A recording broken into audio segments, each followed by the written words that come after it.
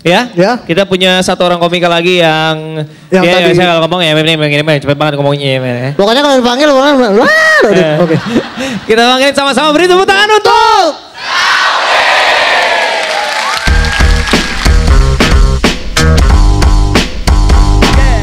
Sebagai atlet bulu tangkis, gue jago dalam menangkis berbagai macam hal yang datang ke gue. Assalamualaikum.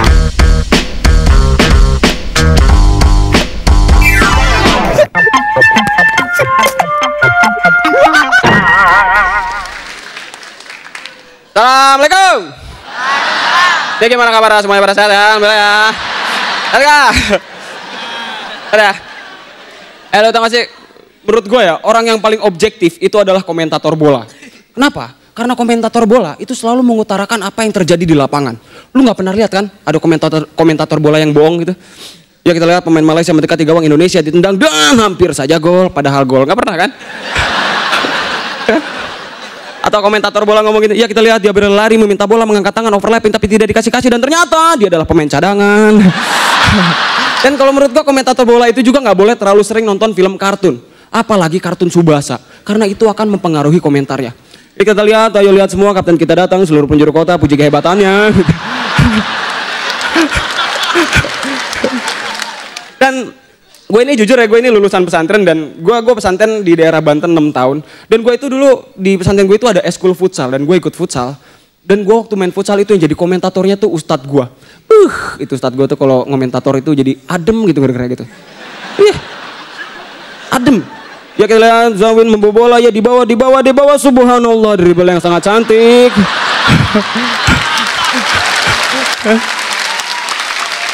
Ya kita lihat Zawin membawa bola ya satu lawan dilewati ya satu orang tertipu dua orang tertipu tiga orang tertipu astagfirullah Zawin jangan bohong. ya. Ya masih Zawin, masih Zawin, masih Zawin tendang dan gol. Zawin tidak melakukan selebrasi, dia tidak mau dipuji takut teriak.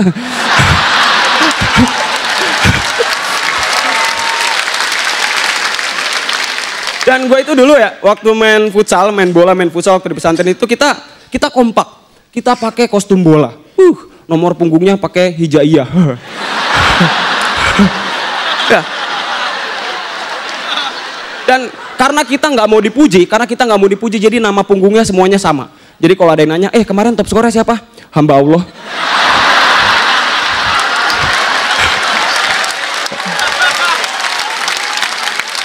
Wah, emang dia ngegolin berapa? Emang dia ngegolin berapa? Tujuh setengah, tadinya sepuluh, dua setengah buat jakat.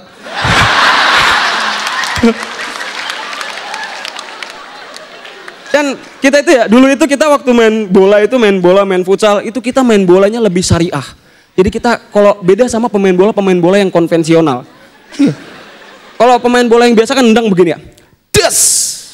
Kalau kita beda, kita nendangnya begini. Des. Sama. Tapi bolanya ke kiblat.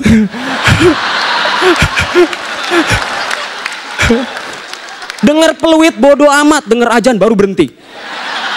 Dan kita nggak pernah dan kita nggak pernah peduli sama garis offside karena kita lebih peduli sama batas suci. dan lo tau gak sih kalau kalau sebenarnya sport itu uh, sport dalam bahasa Inggris dalam kamus Oxford itu artinya adalah source of entertainment. Itu sumber hiburan. Makanya olahraga itu memang seharusnya menyenangkan dan menghibur. Kayak tadi senam yang dibawain sama Mbak Feni. Pas banget gua di belakangnya seger. kan?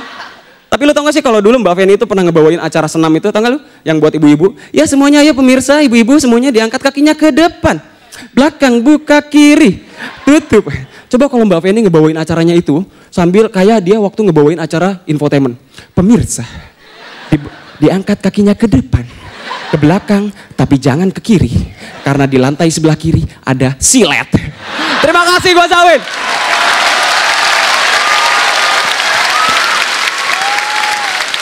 Iya Jawin, kamu di sana bermain bukan hanya rileks ternyata, kamu sudah menikmati betul. Kompor gas Jawin. Terima kasih Om. Iya Sawin, eh, tapi menurut gue sih di antara yang lain yang keren-keren materinya hari ini buat gue materi lo yang paling keren gitu ya. Itu aja Sawin, keren buat kamu. Terima kasih Mbak.